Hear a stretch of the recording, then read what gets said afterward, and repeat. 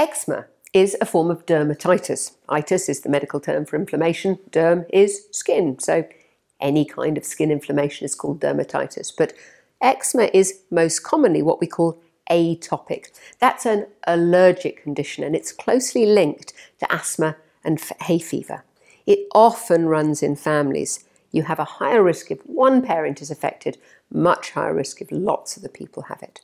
It usually starts in infancy. The good news is that while one in five children or so does get eczema, two thirds of them will grow out of it by their mid teens.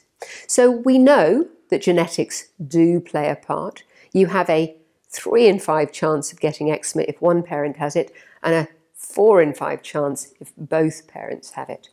What happens in eczema is that the oily protective layer of skin is reduced. And we don't know exactly why that will affect one child of one parent and not another. We wonder whether perhaps pollution, climate change, and diet may play a part. We certainly know that food allergy, for instance, cow's milk allergy, particularly in babies, can be a common cause of eczema.